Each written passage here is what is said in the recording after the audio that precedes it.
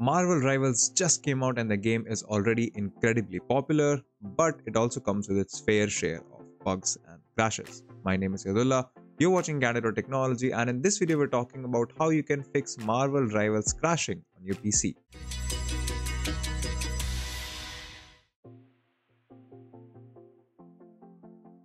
So the first thing that we're going to do is uh, to fire up Steam once Steam is open, the, uh, what we're going to do is head over to our library. Then uh, select Marvel Rivals.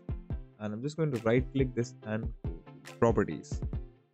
Now in the general tab, what you need to do is uh, disable the Steam overlay. Now this is not a sure shot fix, but in some games the Steam overlay can cause crashes. Marvel Rivals is incredibly new. It's just arrived on the scene, so there is a chance that having this enabled can sort of give you a couple of problems. So this is going to go ahead and disable the steam overlay while in game. And while we're at it the second fix in here would be to go to installed files and uh, the verify the integrity of game files. So uh, this just checks if you have all of the game files that you need in order to be able to run the game. They're all updated they're all uh, none of them are corrupt and so on and so forth. So if a game is frequently crashing on you it's always a good idea to come back and check the integrity of game files. Now, if you have the game on Epic, the exact steps for this are going to be different, but uh, you will easily find uh, that option also in your Epic Games library. The next thing we're going to do is to clear out the Marvel Rivals crashes folder in local app data. So press Windows key plus R to open run and type in local app data, then click OK a new folder will open up and in here we are going to find the marvel folder. Once you double click this go to save and you will see a crashes folder in here. Uh, as you can see mine is empty because the game hasn't crashed for me yet but if you see anything here go ahead and delete it. After that uh, you will see uh, in your config folder you'll also see crash report clients. Uh, so this will be a crash report so you can read it to sort of figure out what went wrong if that's okay. And uh, then there is your user settings. So we're going to delete this file as well. Once these two files are deleted you can restart your computer and then relaunch your game. The game will automatically generate the configuration file and should start with the optimal settings to not crash Next thing to do is to update your GPU drivers. Now, whether you have an Intel, AMD or NVIDIA GPU, the exact steps are going to be different. I have an NVIDIA GPU, so I'm just going to fire up the NVIDIA app. In here, we're going to go to the driver section.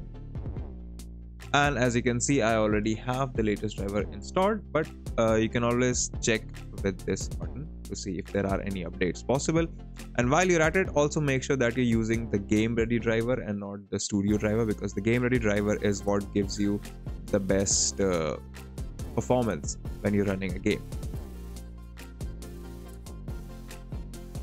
If that didn't fix the issue for you the next thing you need to do is to check whether the game is actually using your dedicated gpu or not. Marvel rivals can't run on an integrated gpu so you need a proper graphics card for the game to run now to check this, we're going to open up the start menu and search for graphics settings. Fire up graphics settings here and here we are. Now uh, we've got a few things here. So if you scroll down this uh, list of applications, you should see Marvel Rivals in here. And now if I expand it, you will see that GPU preference is let Windows decide and Windows has decided that it should run in high performance but you can always click on this and uh, choose the GPU yourself. So I can force it to run on my 4060 or I can just run it on my uh, Intel Arc graphics in which case the game will not run. Alternatively, if you're running it in windowed mode uh, or full screen windowed mode, uh, it has this optimizations for windowed games. You can just toggle this checkbox off just to make sure that Windows isn't doing anything invasive with your game that can cause problems. Once you're done with these two settings, go back and relaunch the game and it should start working fine. The next thing to do is uh, to check for uh, in-game settings. Now for this, we are obviously going to have to launch the game. So let me just start it up, give it the permissions that it needs, and we shall wait. So we're going to click on launch to fire the game up.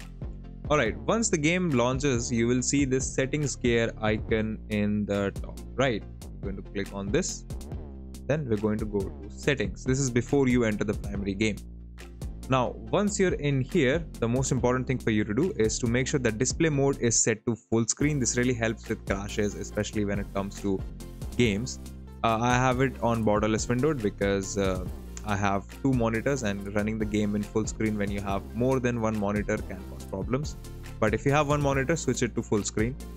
Make sure that you've got uh, NVIDIA DLSS or AMD or whatever uh, GPU you have running in here and your super resolution mode you can set this to either balanced or performance um, depending on how much of a quality hit it takes then uh, we're going to scroll down and make sure that vsync is disabled as you can see this is cross-checked here because I'm using NVIDIA DLSS frame generation. If I disable this, I'll have the VSync option.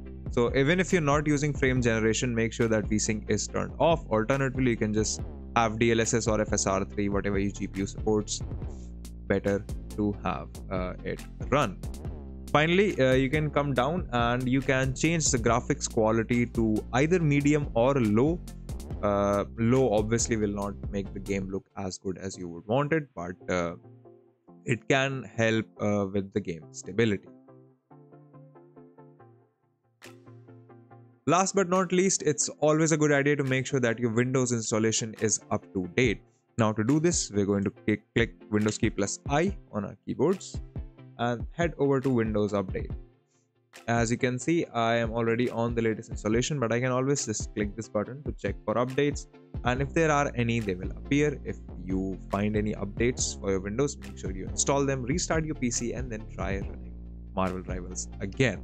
If you like this video, consider subscribing, give us a thumbs up, press the bell icon and tell us in the comments below what more such content can we make for you. If you'd like to know more about tech, visit our website candid.technology, follow us on social media, follow me on Instagram or Twitter and we'll see you in the next video.